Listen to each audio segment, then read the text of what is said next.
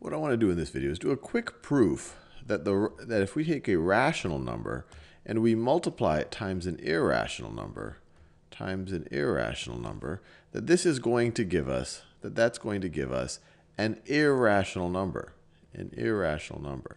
And I encourage you to actually pause the video and try to think if you can prove this on your own. I'll give you a hint. You can prove it by a proof through contradiction.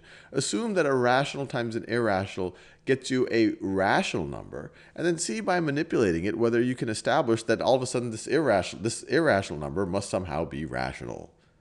So I'm assuming you've given a go at it, so let's think about it a little bit. I said we will do it through a proof by contradiction. So let's just assume, let's assume, assume that a rational, a rational times an irrational, times an irrational, gives us a rational number. Gives us a rational number. So let's say that this, so let's, to represent this rational right over here, let's represent it as the ratio of two integers, a over b. And then this irrational number, I'll just call that x.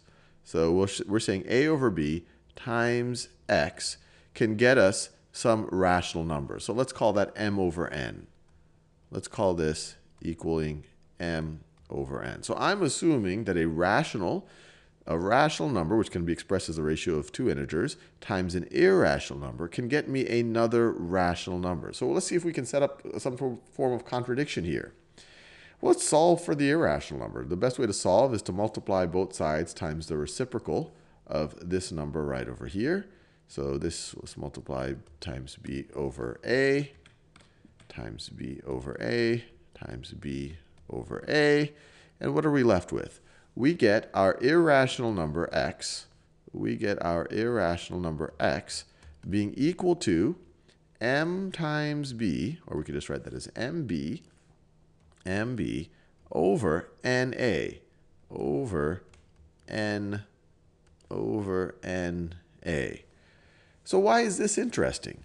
Well, m is an integer, b is an integer, so this whole numerator is an integer. And then this whole denominator is some integer.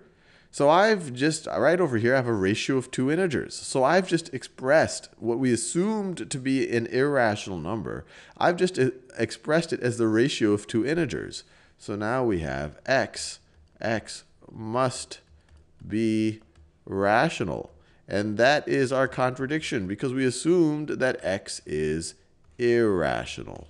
And so, therefore, since this assumption leads to this contradiction, leads to this contradiction right over here, leads to this contradiction, we cannot, this assumption must be false. It must be that a rational times an irrational is irrational. A rational times an irrational is irrational.